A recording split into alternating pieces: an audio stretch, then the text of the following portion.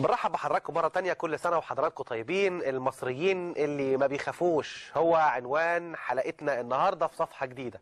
المصريين اللي ما خافوش في 2011 من نظام مبارك ما خافوش النهاردة أيضا من موجات الإرهاب. آه، آه، المصريين اللي كان احتشادهم عن طريق جماعة الإخوان والمتاجرة بأخطاء نظام مبارك ربما آه، اللي جعلت المصريين ينزلوا ويتصدر جماعة تتصدر جماعة الإخوان المشهد ثم تدخل الانتخابات وتيجي بعديها يفوز مرسي ثم يكتشف المصريين إن في سنة كاملة أو في أقل من سنة كاملة في جملة من الأخطاء اللي لا يمكن أي عاقل أن يغفرها. وإن البلد لو مشيت بعد كده هتبقى الدنيا أسوأ بكثير. محمد مرسي اللي دخل موسوعة Guinness Record والكلام ده اللي بقوله ده مش تريقة ده حقيقة. كأكبر أو كأكثر حاكم في العالم تم خروج عليه عدد من الطرائف واللي أخرج عليه المصريين كان مثال لكل من تسول له نفسه أن يعبث بمقدرات هذا الشعب. المصريين النهاردة عدوهم مختلف عن عدوهم في 2011 المصريين النهاردة أو من ثلاث سنوات تحديدا في ميدان التحرير كانت موجات الغضب وكانت موجات آه، آه، آه، الزئير وكانت موجات أو مطالبات بإسقاط النظام. هي العنوان الأبرز في ميدان التحرير. النهاردة الميدان بيتلون بألوان كرنفالية والعدو مختلف هو الإرهاب. ما بين 25 يناير 2011 و25 يناير 2014 دروس مستفادة كثيرة. يمكن نستطيع إن إحنا نفهم بعضها من خلال حوارنا النهارده. رحبوا معايا بضيوفنا النهارده معايا اللواء أسامة الطويل مدير أمن قناة السويس الأسبق وأيضا مساعد وزير الداخليه الأسبق. أهلا بحضرتك يا فندم. أهلا بيك يا فندم معنا أيضا الأستاذ شريف طاهر عضو الهيئة العليا لحزب الوفد. أهلا بك يا أستاذ شريف. أهلا بيك أبدأ بيك يا أستاذ شريف ربما جيل الشباب اللي حمل عدد من الرسائل له رؤية فيما يتعلق بالدروس المستفادة. الدرس المستفاد بالنسبة لي أنا آه، أنا من الناس اللي كنت واقف من ثلاث سنين في ميدان التحرير آه، يوم 25 يناير كنت موجود في الميدان. وكان آه، ما كانش فيه من الناس اللي نزلت حد يتصور إن نزولنا يوم 25 كان يوم الثلاث 25 2011 يقدر إنه يحدث هذا الأمر. ينتج عنه اللي حصل في مصر في الثلاث سنين اللي فاتوا دول. فده كان يوم تاريخي ومشهود ولا أتصور إن ممكن حد من الناس اللي نزلت يبقى في يوم بيأثر فيه زي هذا اليوم. بس اليوم ده كان فيصل بالنسبة لي أنا شخصيا يعني في إيه؟ إن شاهدت الشعب المصري من كونه قعد فترة طويلة أسهل شعب يتحكم في العالم. ثم أتى يوم 25 يناير 2011 ومن يومها والشعب المصري من هنا ورايح يكون أصعب شعب يتحكم في العالم. ده حقيقي. شعب مصر من هذه اللحظة أصبح من أصعب الشعوب اللي ممكن ترضيها واللي داخل يحكم مصر لابد أن يعي أن المصريين ما قبل 25 يناير غير خالص المصريين بعد 25 يناير. ولا بد أن يعمل على إرضائهم ولا بد أن يعمل على أن هو يكون آه، آه، واعي تماما. الشعب أصبح هو فعلا مصدر السلطات والشعب استرد صحيح. آه، سلطته واسترد بلده. النقطة الثانية أحب برضه أقول إن مصر ما هياش يعني إحنا دايما وإحنا في الثلاث سنين دول قعدنا نتعامل مع مصر على إنها بتتعلم لسه الديمقراطية أو بتخرج. مصر ما هياش دولة حديثة. مصر دولة قديمة جدا. آه، مارست سياسة من من زمان قوي يعني. والحقيقة مصر كان لها تجربة آه، في التعددية الحزبية وفي ال- الديمقراطية وفي تداول السلطة. يمكن ما كانتش التجربة الناجحة والكاملة ولكننا لم نأتي اليوم لنبدأ من الصفر. تمام. إحنا بادئين المفروض إن إحنا عندنا خبرات متراكمة وبن وبنكمل عليها. و... وثلاث سنين في عمر الشعوب وبالذات شعب زي مصر ولا حاجة. ولا حاجة. يعني فأنا أنا يعني أرى إن إحنا ثورة بدأت هتكمل. والشعب المصري طالما أراد إن هو يصل إلى بر الأمان فهو سيصل إلى بر الأمان. بالنسبة للإرهاب جربنا الإرهاب وقاومناه وانتصرنا عليه وسننتصر عليه مرة أخرى. فبالتالي يعني هي فترة ممكن اللي عايشها بيشوفها طويلة إنما في تاريخ الشعوب وفي تاريخ دولة زي مصر ثلاث سنين دي ولا حاجة. سيادة اللواء النظرة الأمنية ل 25 يناير ربما تختلف عن النظرة الحزبية أو نظرة الشباب. الشباب بابا هم هم الذكر بتاعنا طبعا. طيب 25 يناير 2011 ربما يعني اسمح لي أوصفها إنها كانت كابوس بالنسبة لقوات الشرطة. 25 يناير 2014 الضباط بيتم تصويرهم مع الناس يعني الناس بتنزل تتصور معاهم. يعني رجل الشرطة في 25 يناير 2011 اللي هو عيده اللي هو حتى الآن حاسس إن هو يعني آه، آه، آه، ربما ده حقه إن إن ما يبقاش في احتفال بيبقى في احتفال بمهنته. الموضوع مختلف النهارده تماما. طبعا طبعا. حصل تحول طبعا طبعا. شايفه إزاي؟ هو طبعا اولا آه، بسم الله الرحمن الرحيم. أنا برضك بحب أن الشعب المصري بهذا اليوم الجميل والخروج كافة المصريين النهارده بتعبر عن الوعي وحبهم لبلدهم وعودة الولاء للولاء للوطن إن شاء الله مرة أخرى. وهو يعني أنا برضك بشكرهم لأن أنا امبارح في برنامج صباح الخير مصر طلبت من كل الشعب المصري أن يخرج النهارده ولا يخاف مما يأتيه مما يأتيه الجماعات الإرهابية. ولذلك النهارده أنا بقدم الشكر لكل الشعب المصري إيه، لنزول النهارده الميادين للاحتفال بهذه الذكرى العظيمة ديت. بالإضافة إلى ان أنا برضك بشد من عضد الشعب إن هو يدعم شرطته ويدعم جيشه بالمساندة عشان نغطي هذا ال ال ال هذه الجماعات المتوترة. طبعا 25 يناير 2011 أنا كنت يعني كنت ماسك حكمدار آه، محافظة الأقصر وطبعا شفت هذه الأحداث قد أحداث أيام صعبة على الشرطة إن أنا أول مرة أفاجئ ان إن كل الأقسام عليها عليها هجوم والناس كلها بتهاجم. إيه يعني برضك كان بالنسبة لنا حدث كبير وأول مرة أنا شخصيا حدثه لكن النهارده لما يعني خدنا يعني الشرطة دفعت ضريبة الأخطاء السابقة للحكم على مدار 30 سنة طبعا دفعت ضريبة كاملة يعني. لكن ال ال الحمد لله رب العالمين إن ربنا شاءت الظروف إن الشرطة دلوقتي أصبحت غيرت العقيدة كلمني عن بتاعتها. الأقصر شوية. اتفضل هان. كلمني عن الأقصر شوية. حضرتك كنت في الأقصر وقت 25 يناير وشفت أعتقد مشاهد كان فيها نوع من أنواع آه، أنا آسف في التعبير الكره أو الغضب من قوات الشرطة أو إسقاط أخطاء النظام على الشرطة أو القوات الداخلية. والآن الأمر تحول لأن ضابط الشرطة الناس بتقف تتصور معاه في الكمان زيه زي ضابط الجيش على اعتبار إن هو نجم سينمائي طبعا. طبعا. لا دي, هو- دي برضه معادلة ما كانتش موجودة. هي طبعا هي ال- المعادلة على على على على قطاع الشرطة ككل. يعني النهارده كانت الناس متجهة إلى أنها بتصب غضبها كله في ال- الفترة السابقة للحكم كلها في قطاع الشرطة باعتباره إن هو ممثل السلطة التنفيذية يعني. وطبعا إن كان الشرطه بتتدخل يعني كانت الأجهزة كلها بتستدعي الشرطة في كل حاجة. يعني مشكلة في الصحة هات الشرطة مشكلة في التنعيم هات الشرطة كل حاجة الشرطة. فكانت الناس يعني عاوزة تفرغ هذا الغضب كله في الشرطة. حاليا الحمد لله رب العالمين الشرطة دلوقتي بعد أحداث 25 يناير تم تغيير العقيدة الشرطية وبتحاول كل قيادات الشرطة تعمق فكرة الشرطة في خدمة الشعب. بدأ التلاحم ما بين الشرطة والشعب. الحمد لله رب العالمين. بدأ من 30 6 وكانت دي ملحمة جديدة جميلة بدأت الشرطة تقبل وذلك الشرطه دلوقتي النهارده بتقدم تضحيات ضباطها وافرادها وجنودها؟ دي أهم ب- بتقدمها حبا في الوطن. ودعم الشعب لها بيخليه برضك بيخليه أقوى من الأول. يعني النهارده يعني مش مش معنى تضحية بيقدم تضحيات هو محب لهذه التضحيات عشان لا الروح. المعنوية اختلفت اختلفت. من قبل 30 يونيو و- والعلم حضرتك ان الدعم الشعبي للشرطة والجيش مخليهم يؤدوا أداء جميل. بالرغم من الهجمات الشرسة اللي إحنا بنتلقاها من الجماعة الإرهابية لكن الروح المعنوية القوية لدى أجهزة الشرطة والجيش ستتغلب على هذا في أقرب وقت ممكن. صحيح أستاذ شريف إيه اللي يخلي الشعب المصري يحط الشرطة في كفة والإخوان في كفة فإذا سقط الإخوان يبقى الشرطة البديل وإذا سقطت الشرطة يبقى الإخوان مين اللي بديل قال كده؟ مين اللي قال كده؟ عندنا دليلين على ده يعني 2011 لما سقط لما سقطت الشرطة.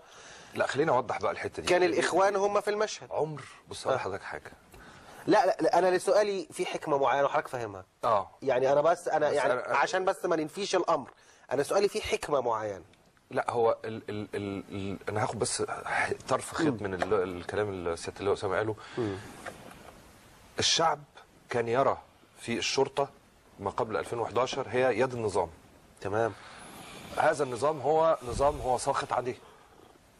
والنظام كان بيسيء استغلال الشرطة. إنما في النهاية أحب أوضح ضابط الشرطة في النهاية هو أخويا وأبويا. وصديقي وجاري. يعني ما فيش عداء ما بين ال ال ال عداء شخصي. عداء شخصي ما بين ضابط الشرطة أو كده. هو النهارده أنا ساخط كمواطن على هذا النظام الممثل فيه اللي بيواجهني فيه. يعني أنا النهارده الناس كانت تقول لي إيه يعني سلطة هي رئيس الجمهورية. بالنسبة للراجل اللي ماشي في الشارع هو السلطة هو أمين الشرطة. يعني فبالتالي هو يمثل النظام اللي هو ساخط عليه. في نفس الوقت في نفس الوقت برضو عشان إحنا ما نقدرش نعيد كتابة التاريخ إنما في 2011 آه، ال ال هذه الجماعة كانت مختارة إنها تقف في وسط الناس. وفعلا كان ال- الهتاف اللي موجود في الميدان هو إسقاط النظام بدون آه، شعارات حزبية. يعني إحنا كوفد ما نزلناش قلنا إن إحنا الوفد عايز يسقط النظام. إحنا قلنا الشعب يريد إنقاذ النظام إسقاط النظام. كان ال ال ال الأماكن مترتبة كده إن هم وقفوا في آه، هذا الخندق والشعب ده شعب طيب. آه، ما ما كانش يرى فيه الإخوان المسلمين في هذا الوقت. ما كانش شاف منهم ال ال ال الوجه اللي شافه في الثلاث سنين اللي بعد كده. تمام. ولكن عندما أصبح الإخوان في النظام أيوه. فهم أو وعى المصريين في نقطة. بقى إيه؟ لا هم في في نقطة مهمة جدا. آه. ها؟ لم يعيها الإخوان. وهي النقطة اللي أنا قلتها في أول الحديث الشعب المصري تحول يوم 25 من أسهل شعب بيحكم إلى أصعب شعب بيحكم. فأنت حضرتك جاي متخيل إن أنت هتيجي تاخد الحكم وأرادوا بمنتهى العجرفة ابتلاع الدولة.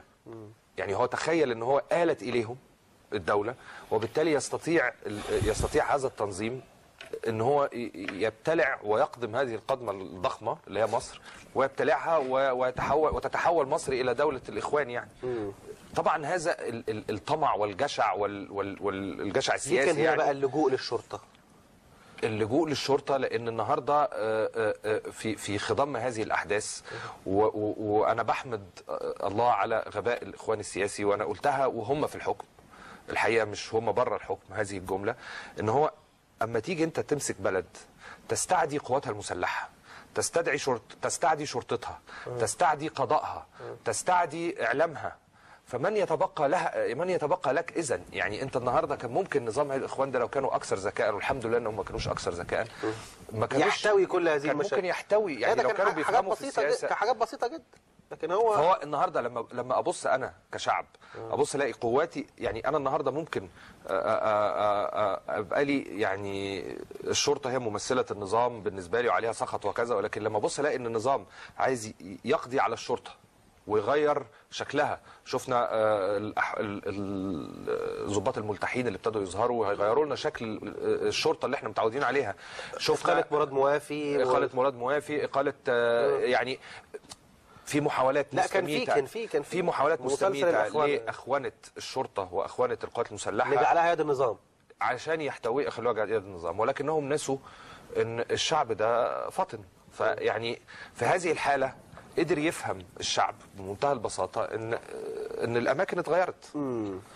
حس فعلا إن الشرطة عادت إليه لأن هو زي ما بقول لك هو ما كانش فيه كراهية شخصية للشرطة. هو كانت الكراهية إن الشرطة دي هي يد النظام اللي بيطبش آه، يعني بتبطش بينا عن طريق الشرطة. فلما تحولت هذه العقيدة إلى إن الشرطة أصبحت في خندق واحد مع الشعب ورأى إن هذا النظام يريد التهام هذه الدولة فهو هو الشعب ما غيرش آه، آه، عقيدته ولا فكره. هو الشعب ببساطة ذكي وأنا أنا أنا من الناس اللي هم بما إن أنا بشتغل في في في دايرتي وبشتغل انتخابات وبشتغل كده فانا نازل يعني إحنا بننزل نقعد في وسط الناس على طول. هذا الشعب من أذكى الشعوب سياسيا والناس اللي هي بتحاول تدعي إن إحنا كان في ادعاءات إن إحنا مش جاهزين للديمقراطية وإن إحنا وإن إحنا لأ هذا الشعب يفطن تماما. فقدر يقرا المشهد قدر يقرا إن هذه جماعة تريد ابتلاع الوطن و و و وتتجه بيه اتجاه هو مش عايز يروحه. ده حقيقي. ولقى إن اللي واقف صادد هذا الكلام هو الشرطة والجيش. فكان من الطبيعي تبديل الأماكن يعني. مم. أعتقد ليك يعني ملاحظات على الكلام ده كتير يا أستاذ. لا هو طبعا آه، باشمهندس الشريف طبعا آه، بيتكلم من وجهة نظره كش- كشاب سائر برضك ومن الناس ال- المحترمين اللي نعتز بهم. لكن هو طبعا أنا عاوز أقول لك إن الشعب المصري إن في حاجة ربنا حببها مصر هي حاجة اسمها حزب الدولة. حزب الدولة ده اللي هي اللي فيها الجهات السيادية اللي هي الشرطة الجيش القضاء وزارة الخارجية الجهات دي كلها إلى حد كبير. إحنا دولة عريقة ما إحناش دولة ما إحناش بتاع النهاردة. دي مؤسسات لها لها سيستم عمل معين فيها كوادر بتشتغل صح؟ زي ما كانش عاجبها ما ما يحدث. يعني ما يحدث ده كان في خلل في في في إدارة البلاد يعني. وازاي هي برضك متماسكة وازاي بتواجه؟ ماسكة وازاي بتواجه يعني. النهارده النهارده الشرطه الشرطة هي عصب الشعب. هي النهارده الشرطة هي عصب. لأن عارفة كل حاجة. هي إن الواحد ممكن يعيش يعني يعني لأن النهارده الحياة الحياة ال- ال- النواحي الحياة المعتادة. لازم يبقى في شرطة موجودة. النهارده واحد عاوز يثبت لأن الشرطة للأسف الشديد يعني آه، هي طبيعة عملها إن هي بتاخد الإنسان من المهد للحد. يعني من أول ما بينزل بتعمل شهادة الميلاد بيخش الم... يعني لغاية ما شهادة الوفاة عاوز يعمل مر- شهادة مر- يعني هي متداخلة مع الناس في كافة مناحي حياتها يعني. فالنهاردة لما تيجي الشرطة الحمد لله رب العالمين إن يعني تبدأ تخش في ان, إن الشعب يعرف أهميتها وخلاص ويصفح عما سبق. الشرطه هي كذلك ما قطاع من الشعب برضك عاوز يعيش حياة كريمة برضك. كل ضابط شرطة عاوز يعيش حياة كريمة زيه زي أي مواطن برضك يعني. فطبعا أنا أسأل الله سبحانه وتعالى ان بس هو فكرة تحول المواطن نحو الشرطة بعد ما كان ال ال ال ال العدو الرئيسي ليه في الشارع هو ضابط الشرطة أصبح إن هو تحول نفسيا نحو ضابط الشرطة وأصبح إن هو وجد فيه البديل بتاع الإخوان. هو النهارده يا فندم ضابط الشرطة ده راجل أنا بس عايز أتحفظ على كلمة إن هو عدو الرئيس عمر المواطن ما كان عدو عندما رئيسي كان أنا الشرطة. بتكلم في المرحلة دي هو. هو بتكلم في المرحلة لما كان ضابط الشرطة مختار إن هو أو مش مختار هو ممكن يكون في وضع مختار وفي وضع الشرطه كلها ناس كان فيها ناس يعني زي ما هم آه، يد النظام ما كان فيها ناس شرفاء وكده هو طبعا. ولكن عندما كانت الشرطة يد النظام فكان السخط الشعبي ممثل على الشرطة لأن هي دي اللي في المواجهة. ده حقيقي إنما ما فيش عداء ما بين استفادت هنا ال- ال- ال- الشرطة من الدرس وما بقتش يد أي نظام. فرفضت إن هي تمتثل لل- للنظام اللي طبعا هي هي هي, هي الشرطة يا فندم هي وظيفتها الرئيسية حفظ الأمن والنظام. دي وظيفة أساسية مناطه بها في القانون. بس النظام العام مش نظام الحكم. النظام العام هي فعلا.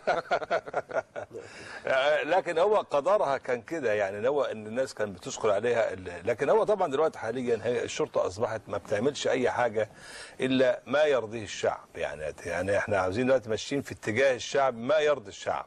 والشعب طبعا إحنا عاوزين برضك إن إحنا نصل ببلدنا إلى بر الأمان بإذن الله في بالرغم. ولذلك أنا برضك بقعد مع ظباطي وناسي كلام من ده. كلهم عندهم روح معنوية عالية جدا جدا في إن هم بيواجهوا جميع الصعاب وبيواجهوا جميع التحديات ومستعدين نقدم أكثر من كده آه، آه، آه، تضحيات في سبيل استقرار بلادنا إن شاء الله يعني. وده لا يثنينا عن إتمام المأمورية وإن شاء الله جميع المتهمين بتوع مديريه أمن القاره إن شاء الله في في غضون هذا الأسبوع سيتم ضبطهم بإذن الله و, و ولان برضك إحنا عندنا بفضل الله ناس ضباط على مستوى عالي جدا من الكفاءة في الأداء. ويعني مش هيبرد يعني نارنا زي ما بقول إلا لما دي جابهم ويقدموا للعداله وإن نوضح إن شرطتنا شرطة قوية بفضل الله بفضل بفضل الله ومساعدة والمساندة الشعبية. وأنا بطلب من الشعب برضك إنه يساند الشرطة بالمعلومات وبالمؤازره الشعبية كثيرا أنا عايز حضرتك تبص على الشاشة عند ده مشهد من الاشتباكات النهارده اللي جماعة الإخوان الإرهابية كانت قائمة بها في ميدان رمسيس اليوم. المشهد اللي اتكرر في عدد من الأماكن يعني كان في حلوان كان في شارع الهرم آه، آه، آه، كان في محاولة مستميتة من أنصار جماعة الإخوان إن هم يخشوا النهارده ميدان التحرير مرورا بميدان رمسيس ولكن كان في اشتباكات قوية جدا في ميدان رمسيس كل. كل هذه السيناريوهات يا فندم كلها يعني النهارده جميع ال- ال- المظاهرات اللي بتطلع معروف بقت معروفة في القاهرة منطقة الألف مسكن مدينة نصر منطقة حلوان يعني دي كل المناطق اللي بيتركز فيها الإخوان يعني. أيوة. كل دي سيناريوهات محطوطة لدى جميع القيادات الأمنية في كيفية التعامل معها لأن دلوقتي اصبحوا مكشوفين لده يعني يعني يعني السيناريو بقى معروف يعني ده هو هم منطقة الألف مسكن هتطلع منطقة الطلبية هتطلع منطقة كذا هم بقى بقى مقروئين للأجهزة كلها. هي لولا إن الأجهزة بتتعامل معاهم بضبط النفس كانت تعبتهم برضك. الناس فاهمة إن إحنا مش عايز- مش قادرين عليهم. لا إحنا قادرين عليهم. لكن هم عاوزين يدخلونا في مرحلة عنف. عاوزين يدخلونا في مرحلة عنف. عاوزين سقوط ضحايا كثيرة منهم عشان يستغلوها اعلاميا ضد ال- ضد الدولة. لكن هم معروفين ومعروف ح- سناتهم ومعروف حجمهم إيه؟ و, و آخر مدام إيه؟ لكن كل ما سفينة البلاد تقترب لبر الأمان هم هيزدادوا من عملياتهم. ده حقيقي. لغة الأرقام يا باشمهندس شريف النهارده كان في حوالي 300 واحد في ميدان طلعت حرب أحرقوا صور الفريق السيسي وهتفوا ضد الجيش وتعامل معاهم مش قوات الشرطة ده المصريين اللي كانوا موجودين في التحرير. وكذلك أيضا في عدد كبير من المناطق في مصر كان في محاولات لاستز... لاستفزاز قوات الجيش والشرطة سواء في ألف مسكن سواء في حلوان. أرقام دول وأرقام اللي كانوا في ميدان التحرير دلالتها إيه؟ أنا ما أحبش أخش في لعبة الأرقام دي هيا ولكن أنا أحب أشوف إن مصر في المرحلة القادمة يكون فيها مساحة لكل من يريد أن يعبر عن رأيه. النهارده كان في مجموعة إحنا لازم نبقى فاهمين وواضحين إن هو كلنا نزلنا مع خارطة الطريق اللي أعلنت ولا بد من التوقع إن هيكون في ناس معارضين. مش كل المعارضين إخوان. ومش كل المعارضين خونة، إرهابيين. ده حقيقي. ومش كل المعارضين خونة. وفي ناس ليها تحفظات. أنا أتفهم تماما. أتفهم تماما. آه إن قيادة هذه السفينة إلى بر الأمان عملية في منتهى الدقة والصعوبة. ولكن هذا قدرنا. يعني إحنا النهارده آه يعني بنمر بأحرج فترات تمر بها مصر في تاريخها. آه، والمهمة قمة في الصعوبة. فأنا أتمنى إن إحنا آه، يعني هنحتاج كل جهود كل مواطن سواء حتى مؤيد لل لل للخارطه الطريق والاتجاه العام أو حتى له تحفظات أو معارض. طالما هو مواطن آه، مصري فلابد أن نتعامل جميعا كيد واحدة حتى نقاوم هذا الخطر الجاسم على حدودنا وجوه وداخل أراضينا. لأن النهارده زي ما انت حضرتك شفت ال ال ال ال الأحداث اللي بتحصل. إحنا بقالنا فترة مثلا كانت ال- العملية كلها محصورة في شمال سيناء. ابتدينا النهارده بعد بقى في الفترة الأخيرة ابتدينا نشوفها جوه القاهرة. ال- ابتدينا نشوف ال ال ال ال سهولة آه، وصولهم هؤلاء الإرهابيين إلى نقط معينة. إحنا طبعا مقدرين إن إحنا لازم هندفع ثمن معين في إن إحنا نقاوم هذا الإرهاب. ولكن أتمنى إن إحنا نكسب كل الناس ال- ال- ال- اللي ممكن نكسبهم ويقفوا في صفنا لأن هذه المعركة معركة آه، يعني في منتهى الخطورة وفي منتهى الحساسية الحقيقة. آه، أنا يعني مهما قعدنا نقول قد إيه ال ال ال ال العملية مش مش سهلة ومهما قعدنا نتكلم وطبعا ست اللواء أنا كنا وهو بنتكلم بره آه، يعني آه، اللي نقدر يتقال آه، قليل بالنسبة للناس دي بتواجهه وبتقاومه بس في خضم هذه الأحداث لابد من وجود مساحة حتى لل 300 شخص اللي موجودين في ميدان طلعت حرب طالما لم يعتدوا على السلم العام.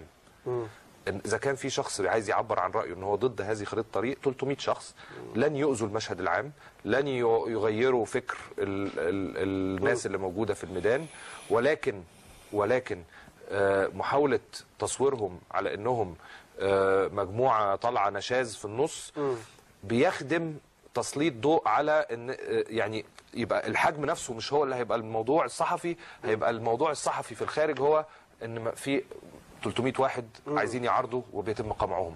نحن لسنا بحاجة إلى ذلك. نحن نستطيع أن نتحاور وأن نتحدث. وزي ما قلت لحضرتك طيب رغم إن قلت ما قوات الشرطة مش هي اللي اتعاملت معاهم وإن الناس هي الغاضبة هي اللي اتعاملت معاهم أنا ما بقولش قوات الشرطة على فكرة. أنا لا أنا أصل خلي بالك إحنا دلوقتي بقينا إيه؟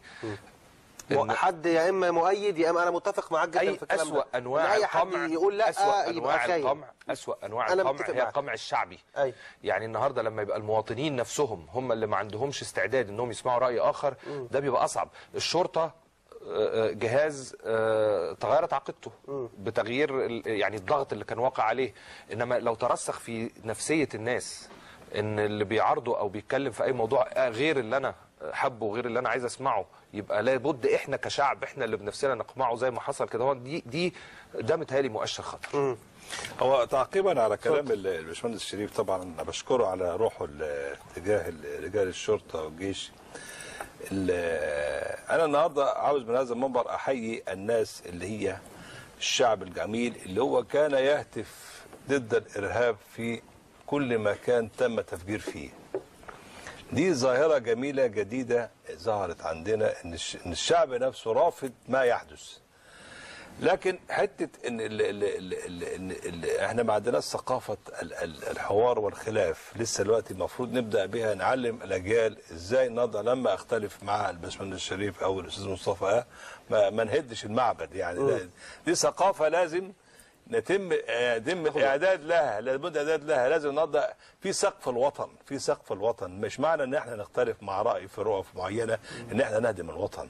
دي اللي أنا لا يعني الجماعه الإرهابية اللي هي ما عندهاش فكرة الوطن وفكرة الولاء الوطن. هي كل تركيزهم على فكرة الجماعة وليس فكرة الوطن.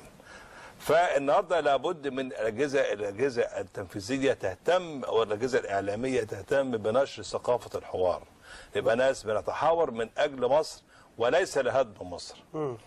النهارده يعني بدأت بقى زي خصومة. النهارده انت إيه وأنا إيه؟ يبقى في خصومة. دي دي, دي موضوع اللي انت بتتكلم عليه ده ده في موضوع الخطورة. لكن مطلوب ان إحنا نبدا نبدأ ز- زرع زرع أو نزرع ثقافة الحوار الآخر الآخر. ده هو اللي قاله الأستاذ شريف صح. بمنتهى الأمانة. ما قالش حاجة غلط. لا أنا بقول نزرع الثقافة دلوقتي. نعم. هو هو الراجل بيقول إحنا بنقول دلوقتي إن ما هو على القائم دلوقتي إن ده ان الاختلاف مع بعض مش معنى إن إحنا نختلف مع بعض إن إحنا نهدم الوطن أو نهدم بعض. لا إحنا كل واحد له رأيه بس لصالح الوطن. بس أنا عاوز أوضح نقطة إن الأجهزة الشرطية آه، آه، أو أي الأجهزة الرسمية عمرها ما بتقمع أي وضع. يعني إيه؟ يعني إحنا اللي بيخوف الأمن كله أي خروج أي مظاهرة عن نطاق الشرعية بتاعتها. لأن ما ذنب المواطن إن هو اتحرق عربيته إيه؟ ما ذنب المواطن إن اتكسر محله إيه؟ المواطن ملوش مواطن مواطن مسالم نعم؟ صح. لكن لو عاوز أي حد يعبر يعبر عن رأيه ده شيء جميل. طبعا إحنا دلوقتي في في توقيت دلوقتي كلنا بنعيش تجربة جديدة. لازم كل هذه التجربة تفرز إفرازاتها سواء كانت إيجابية أو سلبية بحيث في الآخر نصل إلى خارطة يعني ننفذ خارطة الطريق بالأسلوب الأمثل زي ما حضرتك قلت إن إحنا في أدق مرحلة هي المرحلة الانتقالية حتى ترسو السفينة بإذن الله على بر الأمان يعني. إيه، في حملات ربما ظهرت في ميدان التحرير بعضها حملة سمت نفسها كمل جميلك بتنادي بترشيح الفريق السيسي رئيسا تعليق حضرتك عليه. اولا الفريق السيسي شخصية وطنية قوية. أتمنى الله سبحانه وتعالى ان ان أن يوفقه في قراره في الترشح يعني. لأن هو يعني هو شخصية وطنية سوف يعيد الولاء للوطن. فكرة الولاء للوطن لابد أن تعيد مرة أخرى. لدى بعض قطاع من قطاع الشعب. تاني حاجة هو يلم بحجم المشاكل الحقيقية التي تمر بها البلاد. يعني بحكم موقعه ان هو عنده حجم الحقيقي للمشاكل وكيفية المعالجة بتاعتها فبندعو الله سبحانه وتعالى أن يوفقه في الترشح ويوفقه في حل وتحقيق طموحات الشعب المصري يعني. أستاذ شريف تعليقك على الكلام. ده مبدئيا آه، أنا هعبر عن رأيي الشخصي لأن إحنا طبعا آه، كحزب لسه كحزب لسه لا إحنا حزب الموضوع لم نتطرق إليه لأن هو ما فيش لسه مجال للكلام عن الانتخابات الرئاسية.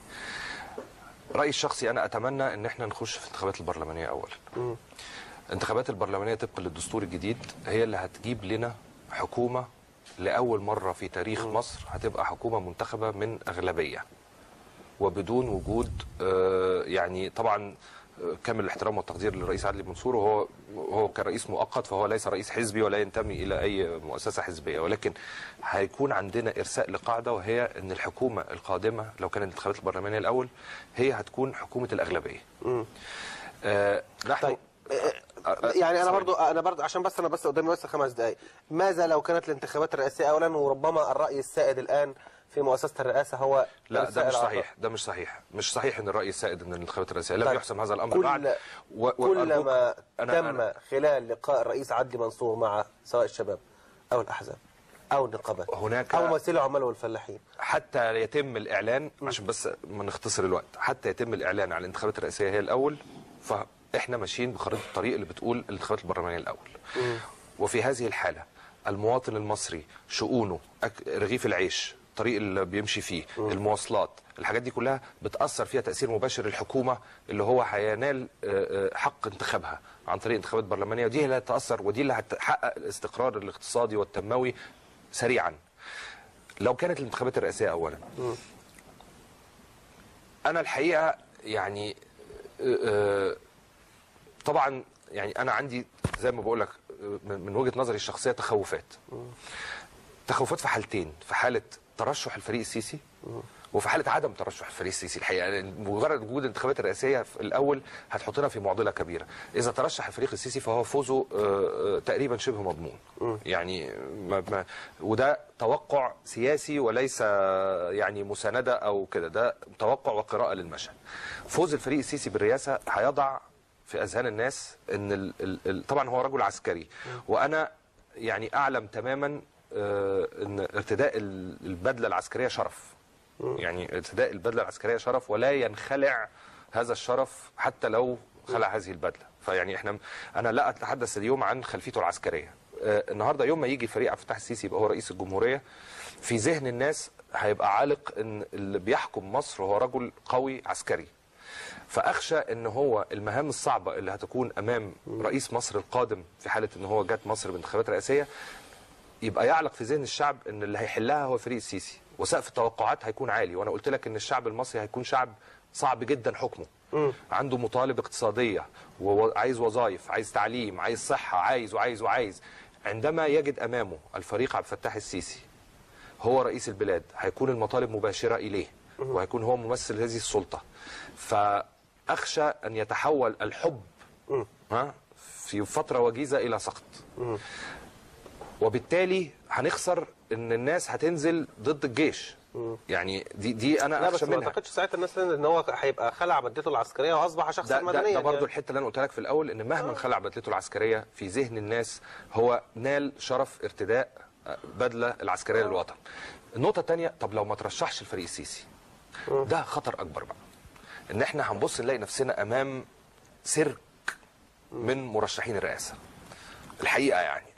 إذا كنا إحنا شفنا قبل كده ال- ال- المرحلة اللي فاتت ودخل فيها كان مهرجان آه، مرشحين هنلاقي فيها مأساة أكبر الحقيقة فالمخرج الوحيد من هذه المعضلة سواء ترشحه كمشكلة وعدم ترشحه واللي هي برضو مشكلة المخرج منها هو إن إحنا نأتي بحكومة منتخبة عن طريق انتخابات برلمانية تجيب لنا انتخابات البرلمانية اللي هتكمل مؤسسات الدولة. هيبقى عندي السلطة التشريعية اكتملت السلطة التنفيذية لأنها حكومة هتبقى نابعة من البرلمان هتكتمل السلطة القضائية مكتملة مؤسسات الدولة تكتمل وتبتدي آه، آه، آه، يعني ساعتها فعلا العجلة هتبتدي تمشي.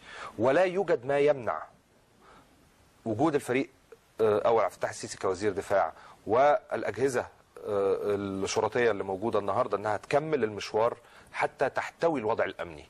ده مفيش حد هيختلف إن هو ده اللي هيكون الوضع القائم. فأنا أتمنى من كل قلبي أن تأتي الانتخابات البرلمانية اولا وأن تأتي الانتخابات البرلمانية بسرعة لأن وجود برلمان هيحول كل الصراعات اللي حضرتك شايفها في الشارع دي نعم. إلى صراعات داخل البرلمان. وإن شاء الله بقى الناس تاكل في بعض جوه البرلمان بس طالما احتويناها داخل أسوار وتحت قبة البرلمان هذه الصراعات تكون مناوشات سياسية ودي ما فيش مسموح أي بيها. ضرر مسموح بيها آه طريقك استلام. هو هو الوقت طبعا آه، أنا عاوز أقول برضك نقطة ال- الفريق السيسي يعني فريق أول عبد الفتاح السيسي تميز بالموضوعية. هو عارف حجم المشكلة هو عارف حجم المشاكل اللي فيها البلاد. هو سيادته بيتميز بالموضوعية والشفافية يعني إن هو الشعب النهارده بيحبه هيعرض مشاكله على الشعب كما هي نعم؟ وكيف كيفية الحلول لها إن هو صادق مع الشعب. الشعب المصري مستعد يتحمل الكثير الكثير الكثير بس يبقى القيادة بتصدق معاه في لكن الكلام حضرتك مش متخوف من أي سيناريو ان إن ترشح الفريق السيسي إلى سده الحكم؟ يعني حاسس يعني إن هو يعني يعني؟ لا لا في شوف هو ال- ال- ال- التخوف كله هو مش هو هو في جماعة الإخوان هم بيعتبروا إن دي طبعا ده ضدهم نعم؟ لكن إحنا مصلحة البلد في هذا التوقيت محتاجة قيادة قوية وطنية تتولى الموضوع. تطمئن أجهزة الشرطة إن كان هناك شخصا ذو خلفيه عسكرية في الحكم؟ فندم ال- ال- الأجهزة الشرطية بتعمل وفقا لسياسة الدولة وفقا لسياسة الدولة ايا كان الشخص المتقدم في الرئاسه دي سياسة الدولة بتعمل فيها. بتعمل وفقا للسياسة. لكن يزداد اطمئنانها لكن إن كان لا.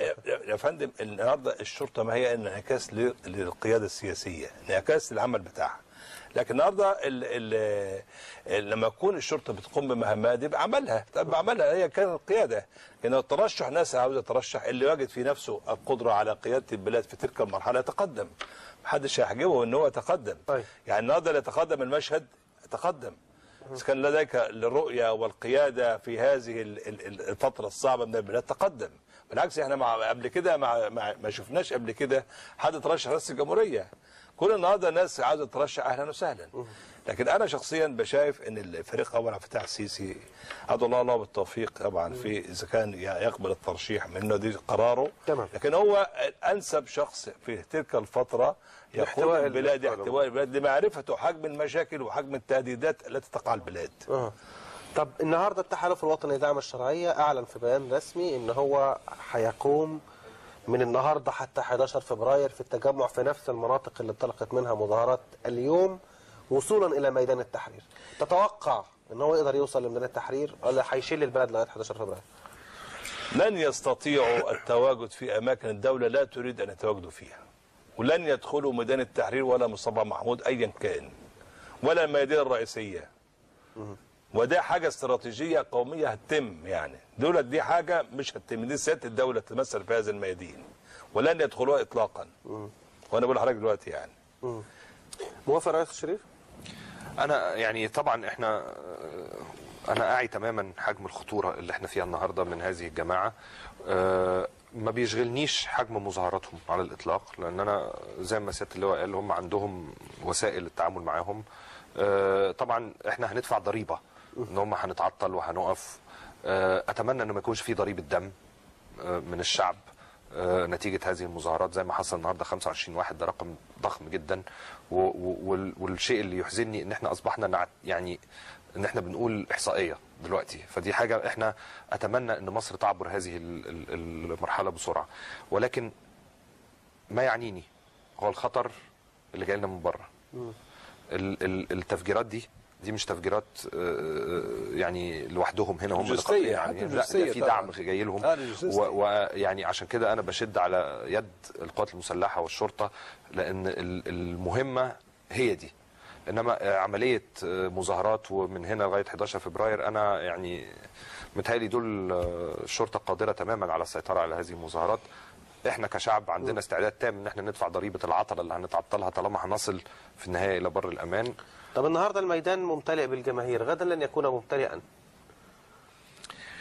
آه، ما دي ده يعني هيصعب مهمة الشرطة الحقيقة. والجيش. والجيش. مم. يعني آه، في غلق الميدان. في غلق إحنا من ناحيتنا آه، زي ما بقول لحضرتك إحنا من ناحيتنا كمواطنين سنمتثل وهندفع هذه الضريبة من العطلة. الميدان ده لما بيتقفل مصر يعني بتصبح القاهرة بتصبح آه، في حالة مرورية صعبة ولكن دي ضريبة بسيطة جنب اللي الناس دي بت بتواجهه يعني. آه، ايا كانت الإجراءات اللي هم هيتبعوها إحنا موافقين عليها. بس زي ما قلت لحضرتك نحن نضع هذه المظاهرات والاحتجاجات وال... والاتحاد اللي حضرتك قلت عليه ده هو مش فاكر ما بتذكرش اسمه الحقيقة قوي تحالف لأن- الوطن الدولي تحالف الشرعي. الوطن الدولي الشرعيه آه، ده موضوع يعني إحنا كشعب أو إحنا بنتمنى إن إحنا ك يعني يبقى عندنا رفاهية ك... إحنا كقوى سياسية يبقى عندنا رفاهية إن إحنا نتجاوزه ونترك أمره إلى ال- المؤسسة الأمنية. المؤسسة الأمنية إحنا بنفكر في المستقبل وبنفكر في آه، خوض انتخابات بنفكر في هنبني الوطن إزاي والخطر ده يعني المظاهرات دي أمر بسيط عليهم إن شاء الله هل. الشعب المصري يمكن أن يقبل فكرة دمج جماعة الإخوان سياسيا في الشارع بعد 30 يونيو؟ لا هو مفيش حاجة اسمها جماعة الإخوان خلاص. يعني جماعة الإخوان المسلمين آه، أصبحت تنظيم آه، مدرج آه، مصريا ودوليا على إنه تنظيم إرهابي وغير مسموح بتواجده في مصر. آه إنما في نفس الوقت لازم أقول لك إن في مواطنين كتير مصريين كانوا متعاطفين مع هذا التيار. اللي ما نزلش قتل وما نزلش حرض ومش موافق على القتل ومش موافق على التحريض وانخدع فيه هؤلاء الناس آه، على إنهم ممكن يكونوا آه، فصيل وطني آه، بيحقق آه، آه، يعني تيار ايديولوجي هو مؤمن بيه. ودلوقتي آه، يعني مع فاق إن الناس دي عبارة عن ناس كانت بتبيع الوطن. آه، فاهلا بيه. يعني إحنا ما فيش حاجة اسمها مواطن مصري صالح آه، بينزل شغله يروح الصبح آه، ويرجع و- ويودي ولاده المدرسة ويروح تمام. ومهما كان عقيدته مهما كان آه، جماعة أنصار بيت المقدس يا ست اللي هو غطاء يعني ارتبط اسمه بجماعة الإخوان. شوف يا فندم جميع العمليات اللي بتتم من عناصر التكفيرية بتصب في مصلحة الإخوان. آه. وهم وراها بالتمويل وبكل شيء. كويس. وفي الآخر بتهدف لمصلحته. كويس. هو دي كلها وجماعة بيت المقدس ما يروحوا يحرروا بيت المقدس. هو جاي موجه لنا ليه؟ محدش فاهم والله. يعني نعم. لكن عاوز أقول لحضرتك يعني إحنا دي كلها مسميات مسميات بيتموها كجماعات تكفيرية لنصب هذا الأمل. له لكن طبعا إحنا في مواجهة شرسة لأن إحنا عندنا دول مخابرات دولية بتنسق هذا العمل ضد الشعب المصري وده اللي بيديه حجم الخطورة. لكن أنا بعتبر كراجل أمني أن المصدر الرئيسي هو الشعب. هو ده ده الجديد إن عندنا الشعب هو متصدر المشهد هو ده اللي مش مخليني مخليني آمن على هذه البلد. طالما إن الشعب نفسه مش قابل هذا الموضوع اذا الموضوع هيمشي في الآخر وفقا لما هو مقرر له. اسمح لي بس الحتة دي في حتة أنصار بيت المقدس بالذات. إحنا من إحنا كحزب إحنا من أقدم الأحزاب وعاصرنا الإخوان المسلمين ومن أكتر الناس اللي عارفين التنظيم ودارسينهم آه لازم تفهم إن تنظيم الإخوان المسلمين هو التنظيم الأم من عام 28 هو اللي طلع منه كل التنظيمات الجهادية الأخرى ده أمر معروف بالإضافة إلى ذلك هو تنظيم دولي موجود فيه حاجة اسمها حماس حماس دول ينتموا ولاء جناح العسكري بتاع الجماعه يعني طبعاً. ولائهم تمام. تماما تمام. للإخوان المسلمين وبيطلعوا ببراندز مختلفة. يعني أنصار بيت المقدس دي أنا أتوقع إن هم صحيح. آه، تنظيم حمساوي آه، مم. بيدعم ال ال الإخوان الذي ولا يتحمل سقوطهم في شريف أستاذ شريف طاهر عضو لجنة العليا لحزب الوفد. شكرا جزيلا ليك اللي هو أسامة الطويل شكرا. مساعد وزير الداخلية الأسبق. شكرا جزيلا لحضرتك. المصريين النهارده كسروا حاجز الخوف لأول مش لأول مرة لثالث مرة. كل آه، ذكرى لثورة يناير كان فيها تحدي جديد سواء تحدي للإخوان بنزولهم في العام السابق سواء تحدي لنظام مبارك سواء في نزولهم في 25 يناير 2011 والآن كسروا حاجز الخوف غير عابئين بكافة الهجمات اللي ربما انطلقت على مديرية أمن القاهرة والقنبلة بجوار القسم الدقي واسم شرطة الطلبية وتفجير الصبح النهاردة في السويس ونزلوا رغم تهديد أنصار بيت المقدس في بيان رسمي بأن من نزل من بيتي فهو غير آمن. سبحان الله. شعب غريب ورسالة واضحة وقوية. المصريين النهاردة نزلوا. مفيش حد خاف. والجماعة مستمرة في تهديداتها إن هي من نفس أماكن أو تمركزات الانطلاق اللي كانت النهاردة وخرجت حصلت معها اشتباكات مع قوات الأمن. ربما هيتكرر هذا الأمر مع 11 فبراير. حتى يوم 11 فبراير كيف سيكون الحال وكيف سيكون الاشتباكات ده أعتقد إنه ممكن. يبقى العنوان الرئيسي. بكرة إن شاء الله إن أحيانا ربنا في صفحتنا الجديدة. نشوفكم إن شاء الله بكرة. تصبحوا على خير